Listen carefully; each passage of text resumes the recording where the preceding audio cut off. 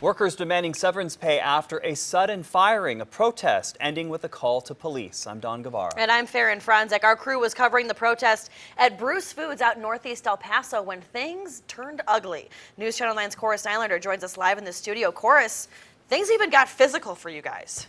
Yes, and not from a protester. Our photographer and I were there with about a dozen people who blocked entry to Bruce Foods. They weren't happy with their sudden firing, and a man who still worked there sure wasn't happy with us tonight. Get the camera out of my face, all right? Tensions high.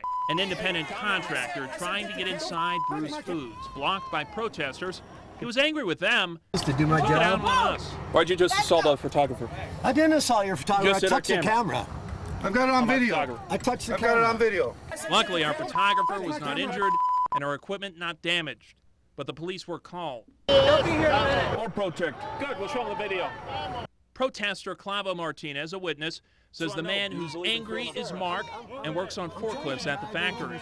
If he would have asked peacefully, the people know who this gentleman is, and he, he would have been allowed to go in. But he immediately started getting abrupt with us, so everybody blocked him. The reason for the protest Bruce Foods recently bought out by Teasdale Foods of California, leaving 150 senior employees to lose their jobs without severance pay. These hateful corporations are using mergers and takeovers to displace people. The protesters say the company did not give these employees a chance to reapply for new positions and are demanding some form of compensation for their years of service. We want the company to listen to these workers, to listen their demands. But certainly not everyone was happy to listen.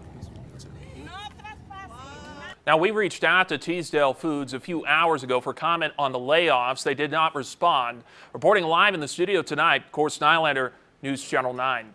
All right, Chorus, thank you. Dramatic